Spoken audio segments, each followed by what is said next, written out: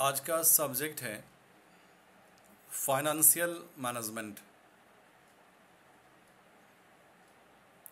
ये आपको नहीं पढ़ना था एलेवन ट्वेल्थ या बीकॉम में। आप जब एमबीए करेंगे तो पढ़ेंगे सेकेंड सेमेस्टर में। या सीए करेंगे तो पढ़ेंगे आईपीसीसी में। एमकॉम करेंगे तो आप वहाँ पढ़ेंगे।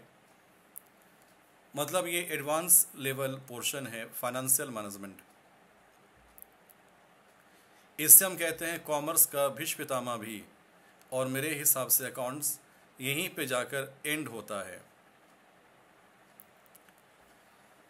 और आपको शायद ये पता नहीं होगा, शायद ये जो सब्जेक्ट है, ये मेरा सबसे वीक हुआ करता था। लेकिन हम दो से तीन दिनों में इसको अपने कंट्रोल में कर लिए। कैसे? ये ट्रिक आपको देंगे समय के साथ साथ। ये सब्जेक्ट है क्या?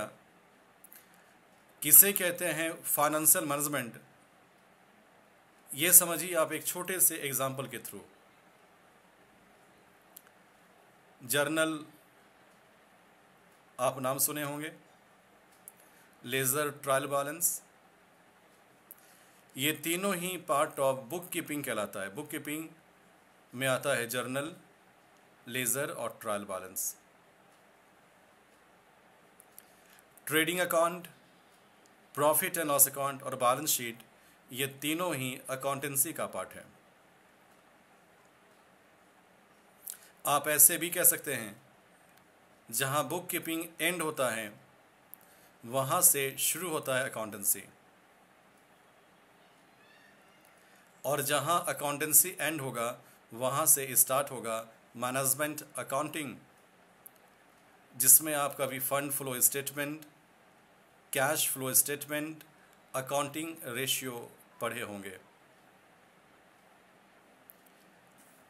और जहाँ पर एंड होता है मैनेजमेंट अकाउंटिंग वहीं से शुरू होता है फाइनेंशियल मैनेजमेंट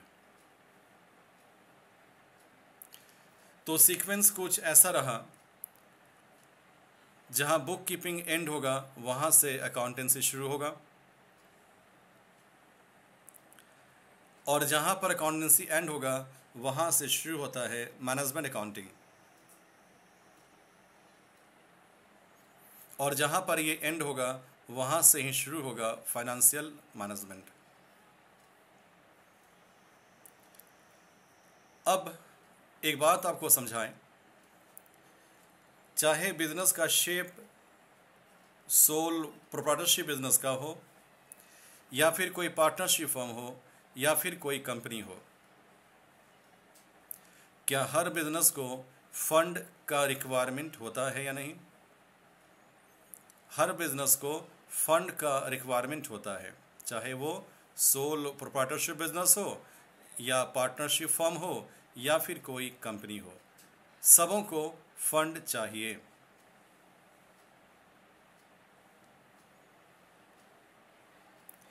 आप जो पढ़े हैं बीबीए या बीकॉम पार्ट थ्री में,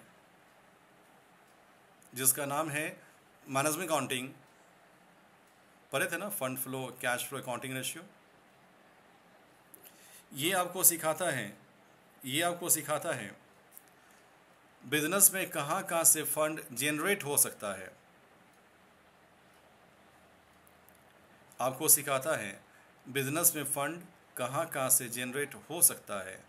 Through equity shares, through preference shares debentures bonds, या फिर किसी फिनेंशियल इंस्टीट्यूशन से।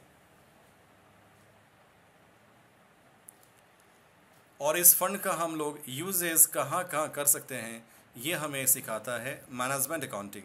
फंड कहाँ से जनरेट हो और फंड का यूज़ कहाँ पर हो, ये सिखाता है मैनेजमेंट अकाउंटिंग।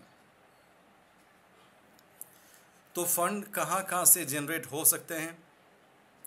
कौन कौन से उसके हेड्स हैं? रिसोर्सेज कौन कौन से हैं? ये आपको एक्सप्लेन करेगा मैनेजमेंट अकाउंटिंग।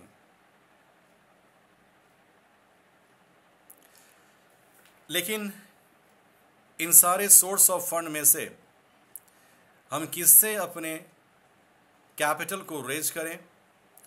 हम किससे अपने फंड को रेज करें? ये सिखाता है फाइनेंशियल मैनेजमेंट रिपीट कर रहे हैं इस पार्ट को इंपॉर्टेंट पार्ट है ये। आप जो अब तक पढ़े हैं या कभी पढ़ेंगे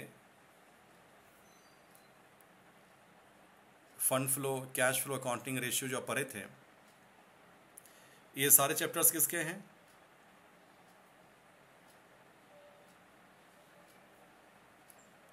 हाँ। और ये क्या सिखाया आपको? बिज़नेस में फंड कहाँ कहाँ से जनरेट हो सकता है? इक्विटी शेयर से प्रेफरेंस शेयर से डिवेंचर से बॉन्ड से, या फिर किसी बैंक से एज अ लोन लेकिन इन सारे रिसोर्सेज में से कौन सा रिसोर्स सबसे बेटर है? हमें किससे फंड को रेज करना चाहिए? ये जो डिसीज़न मेकिंग होगा, इसी का नाम है फाइनेंशियल मैनेजमेंट एक छोटा सा एग्जांपल आपको दें हम, जिससे कि बात बिल्कुल साफ़ हो जाएगा। हमें पटना में एक मूवी देखनी है। और हमने आपसे कहा, ज़रा पता कीजिए, किस सिनेमा हॉल में कौन सी मूवी लगी हुई है? आप गए, पता करके आए किस सिनेमा हॉल में, किस टाइम में कौन सी मूवी लगी हुई है। आपका काम ख़त्म हो गया, क्योंकि आपका काम क्या था? आपका जॉब क्या था? ये पता करना किस सिनेमा हॉल में कौन सी मूवी लगी हुई है। लेकिन इन सारे मूवीज़ में से हमें कौन सा मूवी देखना चाहिए? ये डिसीज़न आपका होगा। या डिसीज़न मेरा होगा। आपने तो हमें डिस्क्लोज़ किया, इस सिनेमा हॉल में ये मूवी लगी है और आपका रोल वहीं पर ख़त्म हो गया। लेकिन इन सारे मूवीज़ में से कौन सा मूवी हमें देखना चाहिए, ये डिसीज़न तो बिल्कुल मेरा ही होगा। ठीक वैसे ही, जो मैनेजमेंट अकाउंटिंग है उसका काम यह है, फंड जनरेट हो सकता है इक्विटी शेयर से प्रेफरेंस शेयर से डिवेंचर से बॉन्ड से, या फिर किसी फाइनेंशियल इंस्टीट्यूशन से। उन्होंने तो सारे सोर्स ऑफ़ फंड आपके सामने रख दिया। लेकिन इन सारे सोर्सेज में से किससे हम अपने बिज़नेस के कैपिटल को रेज करें, ये जो डिसीज़न है यही है फाइनेंशियल मैनेजमेंट समझ रहे आप सभी? तो जो होते हैं मैनेजमेंट अकाउंटेंट वो फ़िज़िकल वर्क करते हैं, वो पेपर वर्क करते हैं, कहाँ कहाँ से फंड जनरेट होगा, वो एनालिसिस करते हैं।